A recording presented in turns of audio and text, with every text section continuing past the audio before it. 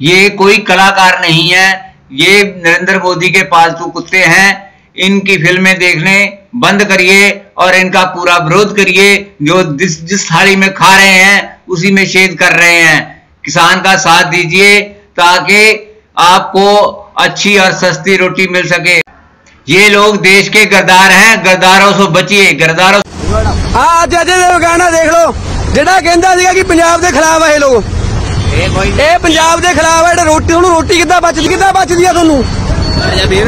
ਰੋਟੀ ਕਿੱਦਾਂ ਬਚਦੀ ਆ ਤੁਹਾਨੂੰ? ਤੁਸੀਂ ਪੰਜਾਬ ਦੇ ਖਿਲਾਫ ਹੋ ਸ਼ਰਮ ਕਰੋ ਸ਼ਰਮ। ਸ਼ਰਮ ਸ਼ਰਮ ਕਰੋ ਮਾਰੇ ਆਪ ਅਜੇ ਦੇ ਗਾਣਾ ਆ ਦੇਖ ਲਓ। ਜਿਹੜੇ ਪੰਜਾਬ ਦੇ ਆ ਕੇ ਪੱਗਾਂ ਦਸਤਾਰਾਂ ਹੈਗੀਆਂ ਦਸਤਾਰਾਂ ਵੀ ਸੱਤੇ ਲਾੜ ਦਾ ਟੁੱਟਦਾ ਲਾੜ ਦਾ ਤੁਹਾਨੂੰ ਲਾੜ ਦਾ ਪਾਉਂਦਾ ਮੈਂ। ਤੁਹਾਨੂੰ ਸ਼ਰਮ ਹੈ ਨਹੀਂ ਸ਼ਰਮ। ਸ਼ਰਮ ਹੈ ਨਹੀਂ ਤੈਨੂੰ ਦੇਖ ਲਓ ਆ ਬੈਠਾ। ਪਾ ਕੇ ਪੱਗਾਂ ਪੰਜਾਬ ਦੀਆਂ ਤੇ ਗੱਡੀ ਉੱਤੇ ਚੜਾਏਗਾ ਮੇਰੇ। ਗੱਡੀ ਉੱਤੇ ਚੜਾਏਗਾ ਮੇਰੇ। ਗੱਡੀ ਉੱਤੇ ਚੜਾਏਗਾ ਮੇਰੇ। ਗੱਲ ਕਰ ਰਿਹਾ ਯਾਰ। ਮੈਨੂੰ ਪਤਾ ਗੱਲ ਕਰੂਗਾ ਉੱਤਰ ਕੇ ਗੱਲ ਕਰਨਗੇ ਉਰੇ ਥੋੜੀ ਨਾ ਨਾ ਗੱਲ ਕਰੇ। ਗੱਡੀ ਕੱਢ ਕੇ ਲੈ ਜਾਊਗਾ ਐ ਕਿਉਂ ਨਹੀਂ ਹੁੰਦਾ? ਐ ਥੋੜੀ ਐ ਕਿਉਂ ਨਹੀਂ ਹੁੰਦਾ ਯਾਰ? ਉਹ ਤੁਹਾਡੇ ਦਾ ਲਾੜ ਦਾ ਥੂਆ ਦੇ ਦੇ। ਤੇਰੇ ਦੇ ਥੂਆ ਥੂ ਦੇ ਦੇ ਮੇਰੀ ਗੱਲ ਥੂਆ ਦੇ ਦੇ।